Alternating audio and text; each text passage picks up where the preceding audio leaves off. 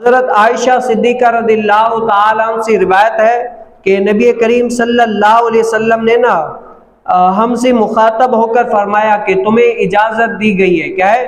तुम्हें इजाज़त दी गई है कि तुम अपनी ज़रूरत के लिए बाहर जाओ। क्या है? तुम्हें इजाज़त दी गई है कि तुम अपनी ज़रूरत के लिए बाहर जाओ। हशाम ने कहा कि यानी इजाज़त से मुराद क्या है? कज़ा हाजत के लिए। जब साबियात रदी को इजाज़त किस बात की दी गई कि अपनी कज़ा हाजत के लिए कहाँ जाओ बाहर जा सकती हो। और हज़रत सैदना सौदा बिनते जमा रदी का शजरा नसब क्या है?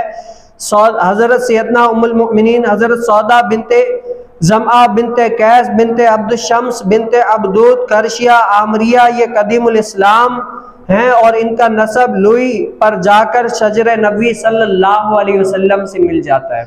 और हज़रत सैदना सौदा बिनते जमा रदिल्लाह का निकाह जो है ना पहले आ, इनके चचा के लड़के सकरान बिनते अब्दुल शम्स अमर बिन शम्स से हुआ था।